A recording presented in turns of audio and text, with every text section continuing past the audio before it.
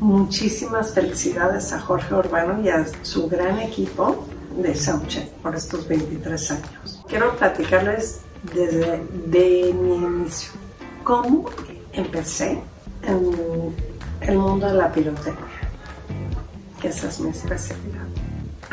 Yo ya estaba de pareja con el mago Edmovil, de hecho estábamos esperando a nuestro primer hijo y él tenía un show para sección amarilla. En su momento no sabía mucho, solamente sabía que era un, show para sección amarilla y él en este show iba a aparecer al carro de carreras de Adrián Fernández. Y en ese momento yo no estaba involucrada en Promesa. Yo trabajaba para la, la empresa familiar.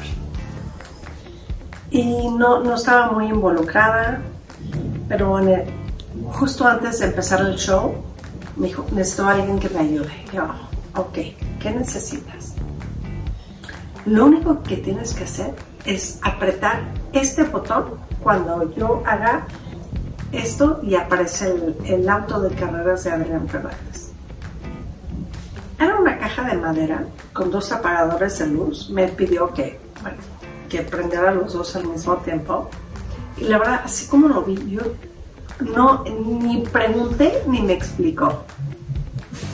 Yo pensé que iba a prender un foco. ah, qué ignorante era en ese momento. Pero lo maravilloso fue que cuando Edno hizo esto, apreté esos dos botones, esos dos apagadores de luz y salió pirotecnia de ese escenario. Salieron chispas de ese escenario. Y fue un momento que ah, se escuché en el público de ¡Ah! Y yo también sentí ese gran poder cuando apreté esos botones. Y hice un efecto de pirotecnia que no, no me esperaba. O sea, lo último que se me hubiera ocurrido que era pirotecnia. Terminando el show, dije, ¡Ah! ¿cuándo es tu próximo show? ¿Puedo hacer esto? ¿Lo puedo volver a hacer? ¿Podemos meter más? Y en ese momento así como que dijo, mm, no entendió no sabía que había creado un monstruo.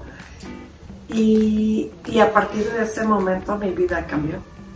Yo ya estaba embarazada de nuestro primer hijo y no fue mucho después cuando se me dio la oportunidad. Oh, la vida es perfecta. Edno estaba de gira en Colombia y llevaron unos, unos gringos a la empresa y este la secretaria que teníamos en ese momento, la señora Rodríguez, me los pasó. Y Monty Johnson, que estaba haciendo el video para Amway, me dijo, oye, es que vi su anuncio en sección amarilla, la que había logrado Ednovi con ese show, que ustedes pueden, este, que ustedes hacen magia. Y asumió que los magos que hacen grandes espectáculos hacen pirotecnia. Entonces preguntó si nosotros podíamos hacer pirotecnia para interiores. No estaba de gira en ese momento, no lo podía contactar, pero me acordé de ese momento de la sección de, ese show para sección amarilla.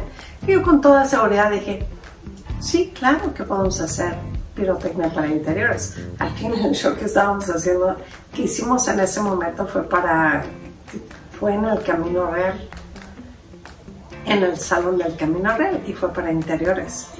La verdad es que yo no sabía ni en qué me estaba metiendo. Y pues que me contratan.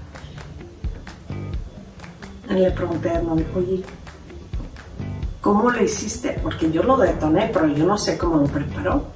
me dijo, no, pues es que con cortocircuito yo compré la pólvora negra en Tultepec. Y yo dije, pues yo, yo ya vendí siete.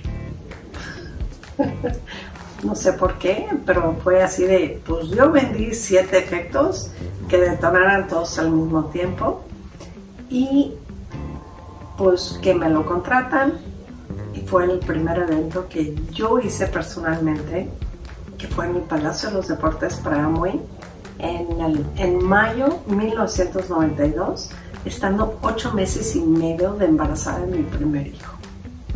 Y ese fue el primero de miles de shows que he hecho desde entonces de pirotecnia y de ahí ya me abrí a hacer efectos especiales.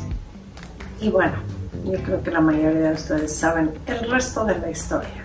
Y así fue como yo inicié en pirotecnia. Se los quería compartir aquí para Soundcheck. Muchas gracias.